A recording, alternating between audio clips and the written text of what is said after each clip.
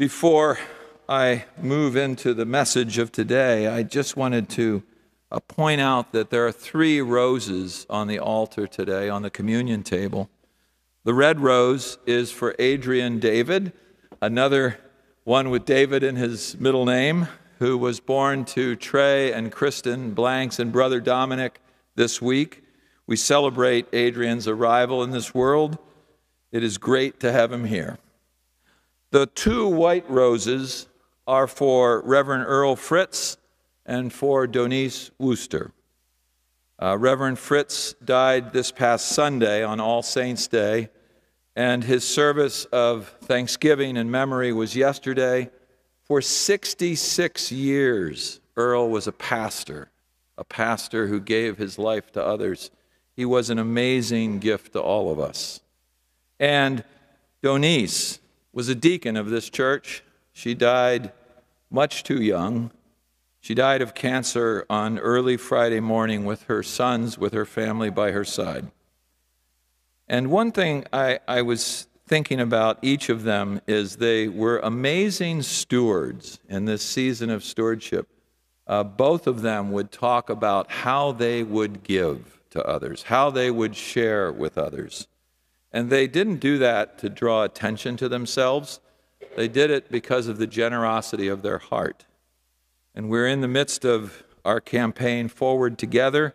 If they were here, and they are in spirit, they would be our greatest teachers on how to nurture and engage and encourage. And so let us remember that to step up and to move forward together is uh, a calling for us as stewards of God's gifts to us. As we remember Earl and Donice, and we celebrate Adrian, uh, let us pause in a moment of silence.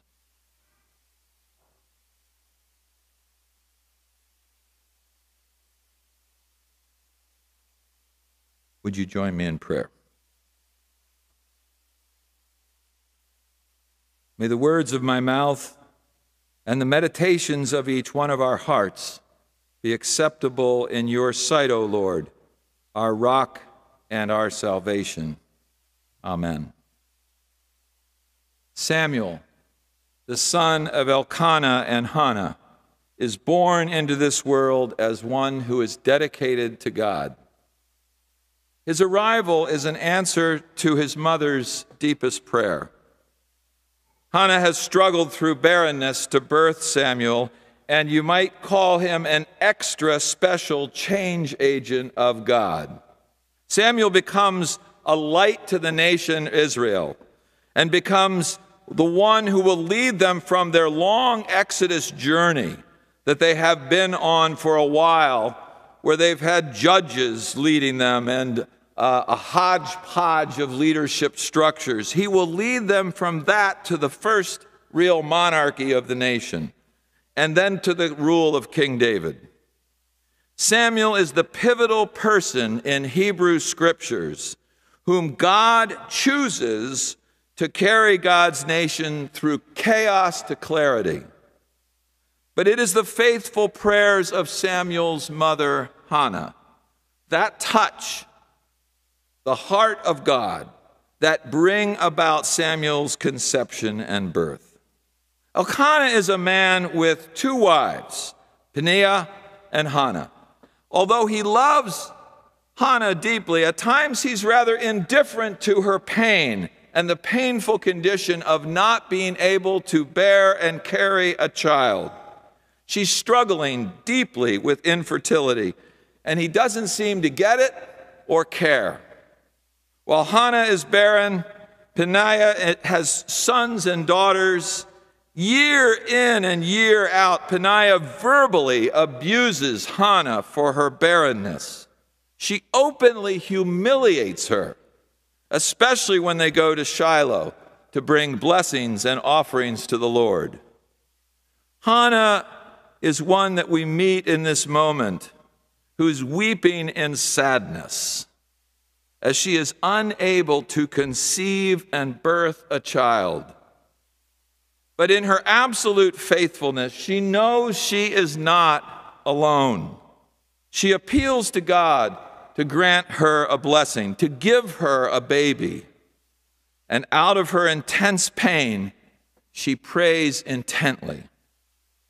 As Hannah prays, we meet the fourth person of this story, Eli, the priest. He is aging, he is increasingly feeble. As he presides over the temple at Shiloh, it's pretty clear he's lost his edge. As he sees Hannah's lips moving with no words coming out, he supposes her to be drunk. Apparently, intense pain can present itself as drunkenness. So he chastises her for being drunk.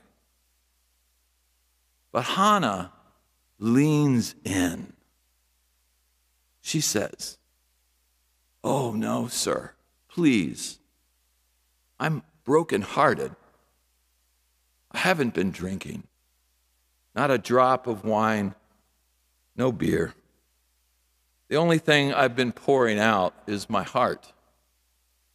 I've been pouring out my heart to God. It's because I'm so desperately unhappy and I'm in such pain that I've stayed here so long to pray.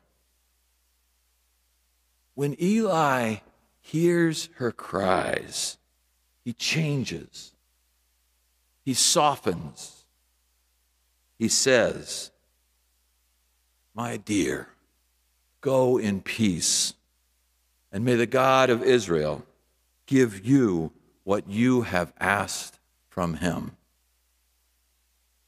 The God of Israel, our God, delivers.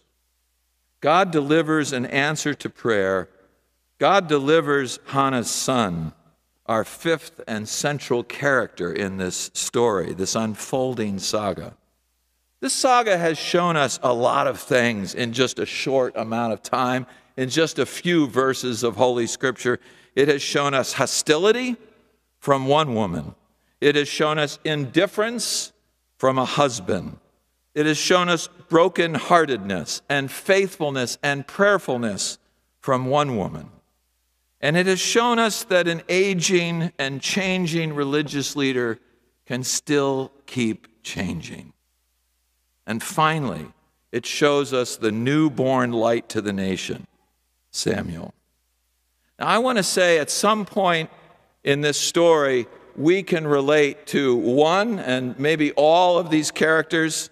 Uh, I, I hate to admit it, but there's a part of me as we're on the edge of Thanksgiving that thinks a little bit of the Thanksgiving day, table when we're thinking about, you know, the uncle who's coming this year, maybe not this year, but maybe next year, who will make comments. And we, we're thinking about the things that will throw us off, right? And we're thinking about others. But in this story, I want us to think about ourselves. I want us to think about the places we go to where the darkness of our soul emerges in the characters that we relate to. We learn what it looks like here to pour out our hearts before God. Have you ever done this? Have you ever poured out your heart before God? I mean it. Have you, have you gone so far into that space and place in your heart and your soul where you've lost all hope, and the only one you turn to is left to turn to is God, and you start talking and you start crying and you find yourself weeping before God, wondering where you will find the strength for this moment and then the next moment. Have you ever gone there?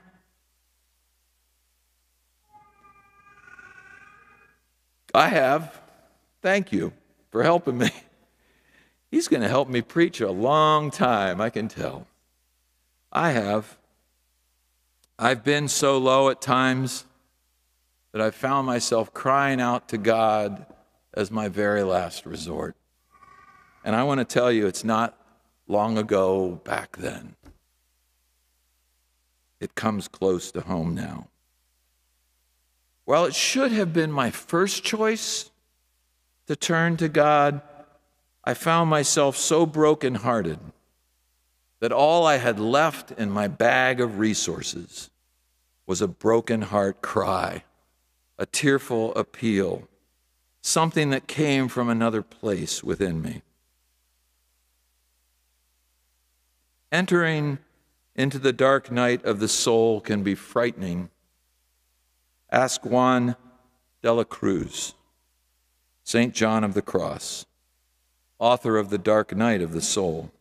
He writes No matter how much individuals go through, no, no matter how much individuals do through their own efforts, they cannot actively purify themselves enough to be disposed in the least degree for the divine union of the perfection of love. God must take over and purge them in that fire that is dark for them. That's what Hannah discovers. She finds that in the darkest night, when she engages the depth of her soul, that the hiddenness of God and God's love is revealed to her. Hannah's prayer is that God would grant her a child. Her promise to God is that she will grant this child back to him. God is not absent in any part of this story. There are parts of the story where God is hidden and then revealed, but God is present in it all. It is God's love emerging from the shadows that changes our hearts. Psychologist Carl Jung writes in his book Symbols of Transformation No one should deny the danger of the descent, but it can be risked. No one need risk it, but it is certain that someone will. And let those who go down the sunset way do so with open eyes, for it is a sacrifice which daunts even God. Yet every descent is followed by an ascent. The vanishing shapes are shaped anew, and a truth is valid in the end only if it suffers change and bears new witness in new images, in new tongues, like a new wine put into new bottles. Throughout the biblical narrative, we discover God arriving in the darkness of the night, in the darkness of the soul in the times that seem like nothing is right, God appears to the humble, to the barren, to the distressed, to the distraught. Like the desert, the land that appears to be lifeless and dry, it's there that God arrives like the green oasis appearing out of nowhere. God makes a way in that wilderness and makes a way where there is no way. The person on the streets, the person in our home, the person in the mirror, the person in our neighborhood who, like Eli, is whispering to someone, and we hear them and we say, Oh, they must be crazy. They must be drunk. They must be beyond help. Maybe it's that they're in such deep grief they are so bereft. They are so broken-hearted. They are simply broken in two. That talking to God and crying to God and whispering to God is all they've got. They might be like Hannah, pouring out their hearts to God. I hope and pray that you hope and pray. Because when we pour our hearts out to God, we receive grace and peace. Yesterday, as we mourned and remembered Reverend Earl Fritz, his son John told the story of Earl climbing a 14,000 foot plus summit at the age of 75 years old. And Carl Jung's words were playing in my mind as I was listening to, to John speak those words became real in a whole new way. Every descent is followed by an ascent. From our highest days, our glorious peak climbing experiences, we eventually have to come down to earth. And we may find ourselves on the earth in the valley of the shadow of death. Likewise, when we sink down into the depths of despair, down into the darkness of the soul, we know that we will ascend we can climb out of that hole. We emerge out of the muck and we rise from the puddle that has formed under our eyes on the floor where we have been pouring our hearts out to God. With her prayer of the heart, Hannah goes right to the heart of the matter. Her name means grace in Hebrew, and there can be no mistaking that her prayer is a prayer of pure grace. In this prayer from grace, with grace, we hear that grace will return grace when grace is received. What a powerful image for prayer. How often in our prayers do we want something to happen for us? In our darkest nights, we want God's delivery service to come, to arrive with a neatly packaged answer. But how often do we return thanksgiving to God for that? When we get something, do we give something back? In Hannah's prayer, there is a trustful innocence. She doesn't adjust her prayer by asking God just to take away her sadness and her pain. She doesn't demand that God give her what she wants or else. She simply offers love to God, and love is returned. At the center of Hannah's life is prayer, and at the center of her prayer is trust in God. And at the center of God is love and grace. Hannah enters the fullness of love and grace and returns to God what has come from God. She gives her son back to God. The gift she has waited for her whole life, she gives back to God. She actually gives her son to Eli so that he may be in the temple in, at Shiloh with Eli and learn how to do what Eli has done. She gives her son to God, and with this gracious gift of life returned in thanksgiving to God, there is a seismic shift that happens in the nation. King David emerges from that seismic shift. And in time, Jesus is born from David's lineage, and then Jesus changes everything. Today, as Corey and Ben's answer to prayer, Jack Schwartz has been baptized into our faith in Christ. I pray that we pray like Hannah, like Hannah.